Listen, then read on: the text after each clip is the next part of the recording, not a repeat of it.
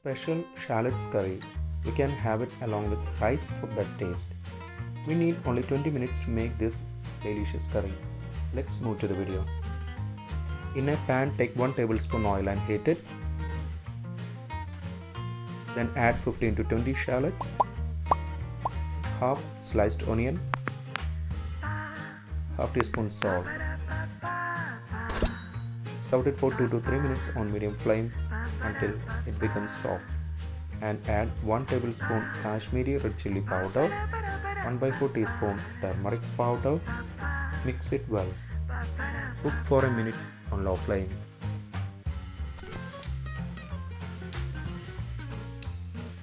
Now add 1.5 cup of hot water and mix it well.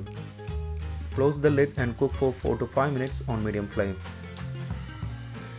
After 5 minutes we can open the lid. Add 1 cup of tamarind dissolved hot water.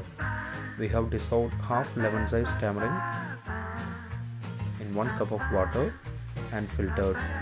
Also add 1 green chili slit. Mix it well.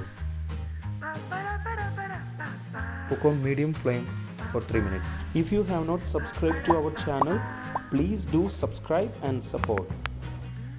To receive latest video notification, don't forget to enable bell icon. Now add half teaspoon salt, half tablespoon jaggery for special taste. Mix it well. Cook for 2 minutes on medium flame.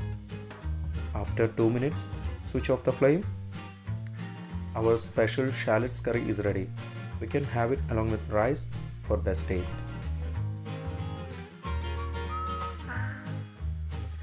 Before skipping, please consider subscribing to my channel.